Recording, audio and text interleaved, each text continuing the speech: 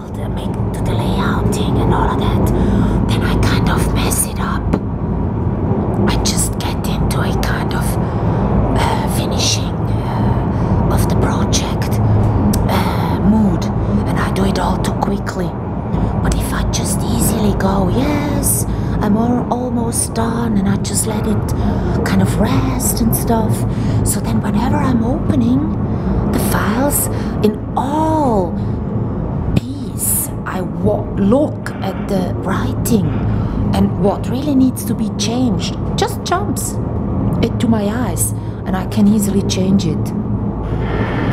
If I want to finish it, then I look at the scenes and I go asking, well, is this before that one, or did I um, order it uh, wrong, you know? There really is that danger. So that one was how I uh, did it this morning. I was writing uh, into the movie script a few things, the two things that I wrote down for myself. And then all of a sudden I saw, okay, now because of that, I can also delete one scene at the beginning where she's. Uh, I wrote that she's sitting in the park in the morning with women, but I shouldn't write it like that. She should be alone then, and she should be with women later on. Makes more sense. Yeah, so I did it like this. Each time this one goes so slow, I would love to kick the door. I tell you. Yes.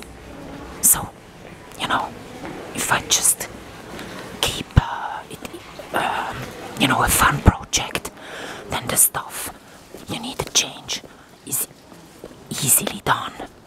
But otherwise, you get like into the mood. Now I need to change this, and then you get the fear of not doing it right, and then because of that fear, you might end up reading about something that you kind of, you know, you read something and then you go, oh, is this also something I need to take care of?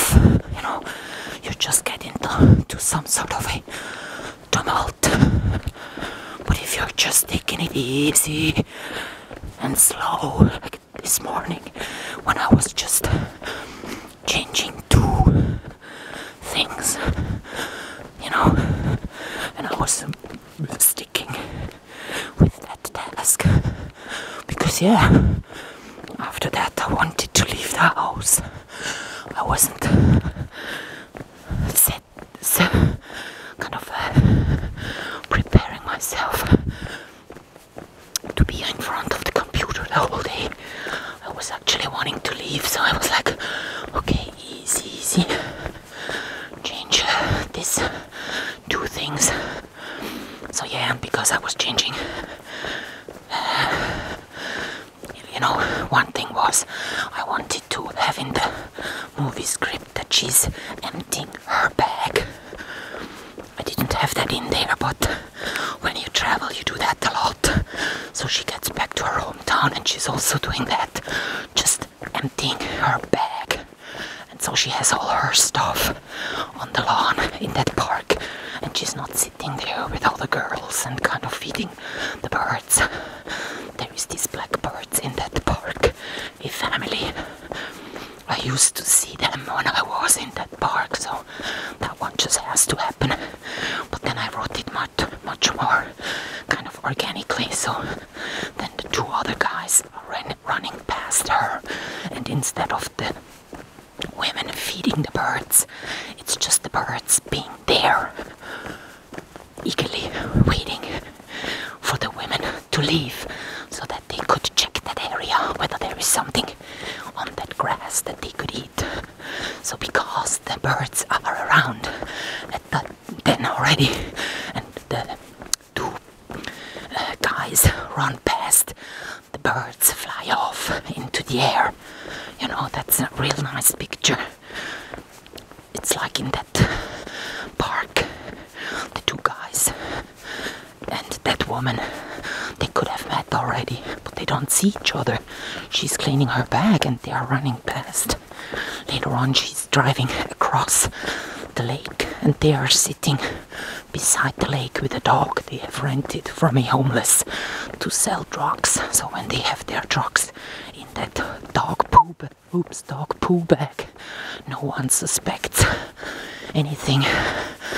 You know that they're doing something wrong there. Just sitting there with a dog. That's okay.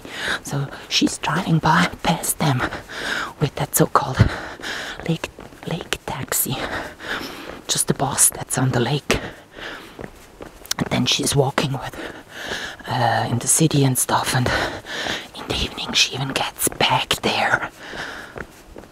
You know, she goes all along. She's clever. she goes all along the lake and then the river. And then she meets a woman. And, you know, they end up uh, right there where they're, the others are. The guys are sitting beside the lake, but in the evening. So again, they could have met, but they don't. And later on, again, they could have met, but they don't because those two smokers they need to distract some guy in the official transport system so that the others in the back can shoot the quickie for that kind of project the dealer is pursuing.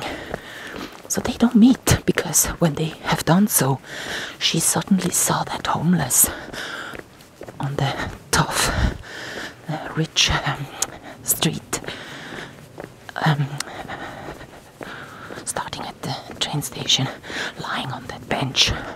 So she, as soon as they finish shooting, she runs off and she wants to talk to that homeless. You know, so she's in the back of that tram and she just waves goodbye because she needs to get back one station to talk to that homeless. So she then accompanies that homeless, which uh, who has, you know, uh, luggage and all, but she's like laying on the bench and sleeping there. But uh, the protagonist just goes back and talks to her and accompanies her through the station to her train just to show the station again. yeah, it's a nice place in Zurich. the main station. So well, she doesn't see him then either. So that's kind of like what Zurich is about. There's so many people, but when you're an artist and you go visit uh, vernissages, you're gonna see the same people over and over and over again. The same when you are interested in evening courses, language, you're gonna see the same people over and over again. When you live in a district, the people buying stuff at the supermarket there are about the same at the same time. Like the, the, the ones that want to steal something, they always go right before it closes, 10 o'clock. So they steal something, and then the people from that shop, they don't really call the police because they want to go home. you know, it's uh, kind of like, yeah, you can't predict what's happening somehow. So now here I am back home. I'm so glad I made it to my monk back home. Now, uh, you know, I just need a,